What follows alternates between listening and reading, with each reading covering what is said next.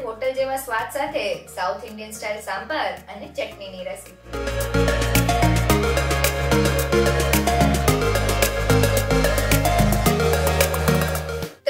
તો secret recipe સાથે બજાર જેવા સ્વાદ કલર અને કન્સિસ્ટન્સી સાથે તૈયાર થતા સાંભારને બનાવવા માટે ના તો તમારે પેકેટવાળા સાંભાર મસાલાની જરૂર પડશે અને ના તો બાફેલી તુવેર દાળ.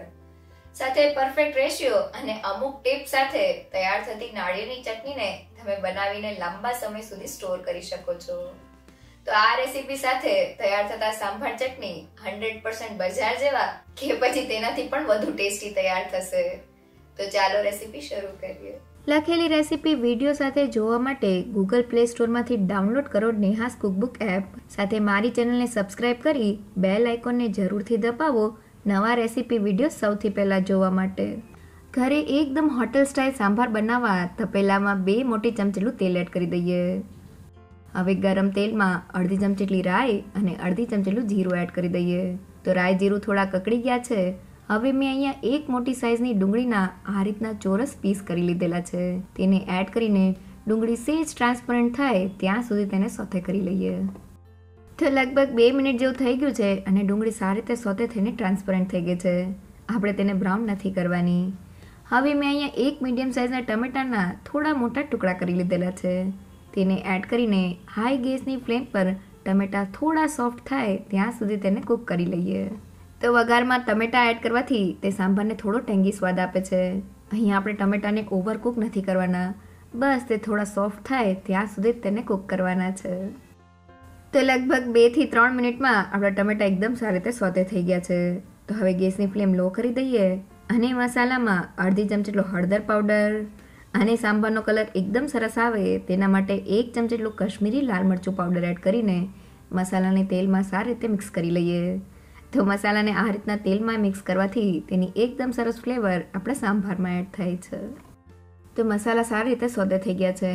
હવે સાંભાર માટે તપેલામાં દોઢ લીટર એટલે કે અંદાજે ત્રણ મોટા ગ્લાસ જેટલું પાણી એડ કરી દઈએ.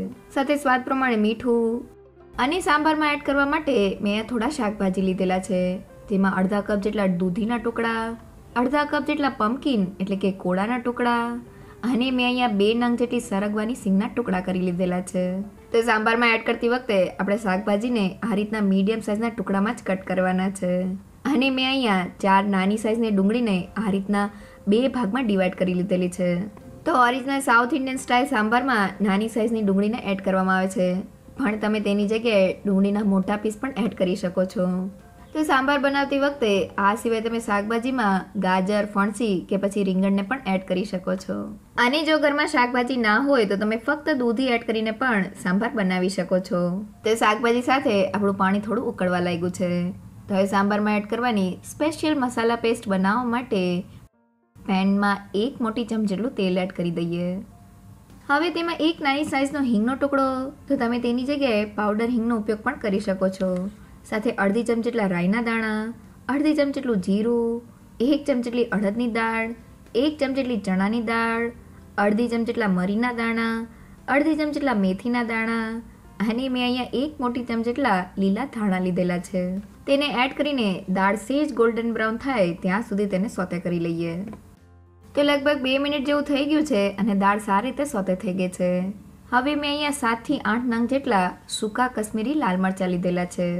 તો બજારમાં મળતા સાંભારમાં તીખાશ અને કલર માટે સૂકા કશ્મીરી લાલ મરચાંનો ઉપયોગ કરવામાં આવે છે. પણ જો તે ઘરમાં ના હોય તો તમે કશ્મીરી લાલ મરચાં પાવડરનો ઉપયોગ પેસ્ટને પીસતી વખતે કરી શકો છો. અને મેં અહીંયા બે મોટી ચમચ જેટલા તાજા નાળિયેરના ટુકડા લીધેલા છે.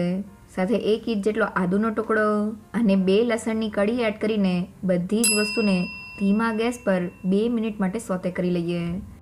તો બધી વસ્તુ સારી રીતે સોતે થઈ ગઈ છે. આપણે તેને બ્રાઉન નથી કરવાની. તો ગેસની ફ્લેમ બંધ કરી દઈએ અને મિક્સરને થોડું ઠંડુ થવા દઈએ. તો આપણું મિક્સર ઠંડુ થઈ ગયું છે, હવે તેને પીસવા માટે મિક્સર જારમાં એડ કરી દઈએ. સાથે એક કપ જેટલું પાણી એડ કરીને બધી જ વસ્તુને ગ્રાઇન્ડ કરી લઈએ. તો બધી વસ્તુ ગ્રાઇન્ડ થઈને આપણી સ્પેશિયલ મસાલા પેસ્ટ તૈયાર થઈ ગઈ છે. આ મસાલા પેસ્ટ સાથે સાંભારનો સ્વાદ હંડ્રેડ પર્સન્ટ બજાર જેવો જ આવશે. તો લગભગ પાંચથી સાત મિનિટ આપણા શાકભાજી પાણીમાં સારી રીતે ઉકળી ગયા છે. હવે તૈયાર થયેલી મસાલા પેસ્ટને એડ કરી દઈએ. અને સાંભારની તીખાશને બેલેન્સ કરીને ખાટો મીઠો સ્વાદ દેવા માટે મેં અહીંયા છ મોટી ચમચ જેટલો ગોળ લીધેલો છે. સાથે ખટાશ માટે મેં અહીંયા અડધા કપ જેટલું આમલીનું પાણી લીધેલું છે. તો મેં લીંબુની સાઇઝના આંબલીને થોડા ગરમ પાણીમાં પલાળીને આ રીતનું પાણી તૈયાર કરી લીધેલું છે. જો તમારી પાસે સમય ના હોય તો તમે આંબલીના પાણીની જગ્યાએ લીંબુના રસનો ઉપયોગ પણ કરી શકો છો. અને હવે બધી જ વસ્તુને મિક્સ કરી લઈએ. તો બધી વસ્તુ મિક્સ થઈને મસાલા પેસ્ટ પાણીમાં એકદમ સારી રીતે ઓગળી ગઈ છે, જેનાથી સાંભારનો કલર એકદમ બજાર જેવો આવી ગયો છે. તો હવે ઢાંકણ ઢાંકીને મસાલા પેસ્ટ સાથે સાંભારને મીડિયમ ગેસની ફ્લેમ પર વીસથી પચીસ મિનિટ માટે ઉકળવા દઈએ. તો આ સ્ટેપ સૌથી ઇમ્પોર્ટન્ટ છે. મીડિયમ ગેસની ફ્લેમ પર આપણો સાંભાર સારી રીતે ઉકળશે, તો તેમાં મસાલા પેસ્ટની એકદમ સરસ ફ્લેવર એડ થઈ જશે. સાથે આપણા શાકભાજી પણ કૂક થઈ જશે. તો લગભગ પચીસ મિનિટ જેવું થઈ ગયું છે, હવે ઢાંકણને ખોલી લઈએ. તો આપણો સાંભાર સારી રીતે ઉકળી ગયો છે. અને સાંભારમાં એડ થયેલા શાકભાજીને ચેક કરીએ, તો તે છરીની મદદથી સહેલાઈથી તૂટી જાય છે. મીન્સ તે સારી રીતે બફાઈ ગયા છે. તો હવે આવે છે સૌથી ઇમ્પોર્ટન્ટ પાર્ટ બજારમાં મળતા સાંભારમાં બાફેલી તુવેરની દાળને એડ કરવામાં નથી આવતી. પણ તેની જગ્યાએ ચણાના લોટનો ઉપયોગ કરવામાં આવે છે. તો મેં અહીંયા બે મોટી ચમચી જેટલો ચણાનો લોટ લીધેલો છે.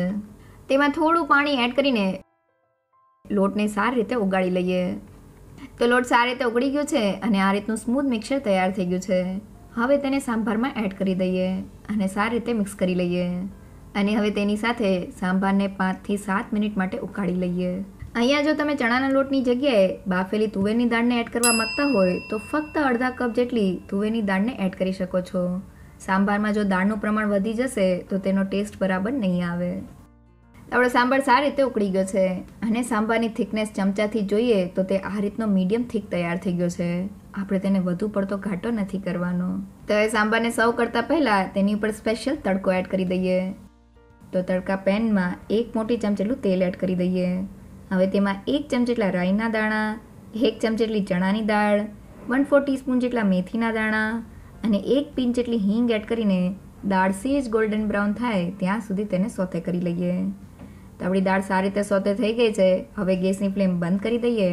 અને હવે વઘારમાં ત્રણથી ચાર નંગ જેટલા સૂકા લાલ મરચાં અને થોડા લીમડાના પાન એડ કરીને તેને સોતે કરી લઈએ. અને હવે ગરમા ગરમ વઘારને સાંભારમાં એડ કરી દઈએ. સાથે થોડા કોથમીના પાન એડ કરીને બધી જ વસ્તુને મિક્સ કરી લઈએ.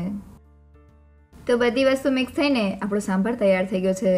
જો એકવાર આ રીતે સાંભાર બનાવશો તો હંડ્રેડ પર્સન્ટ બજાર જેવો જ સ્વાદ આવશે. તો એ સાઉથ ઇન્ડિયન સ્ટાઇલ નાળિયેરની ચટણી બનાવવા પેનમાં એક મોટી ચમચેલું તેલ એડ કરી દઈએ.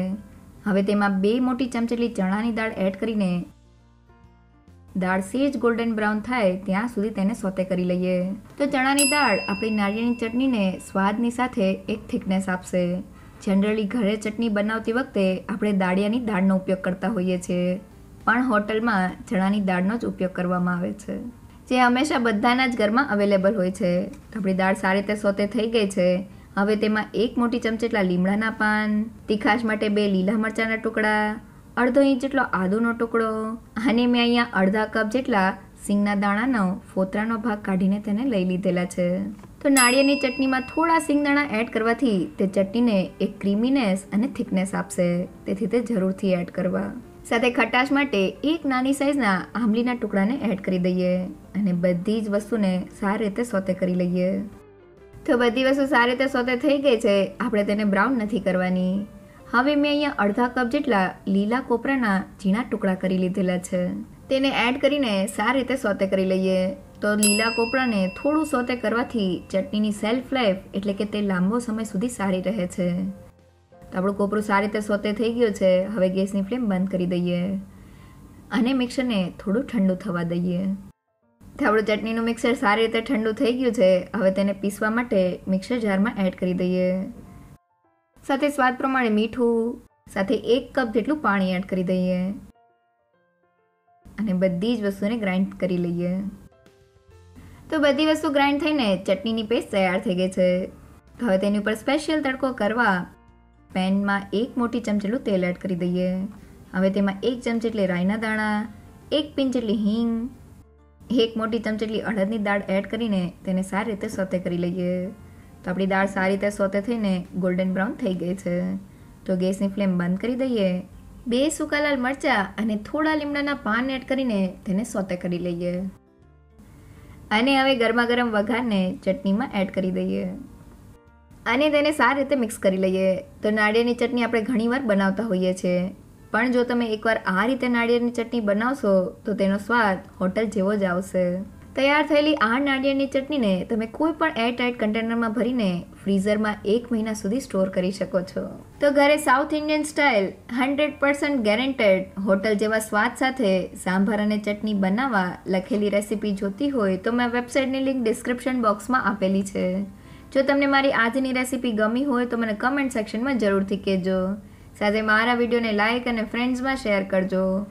અને મારી ચેનલને સબસ્ક્રાઈબ કરવાનું ના ભૂલશો. તો ફરી મળીએ એક નવી રેસીપી સાથે.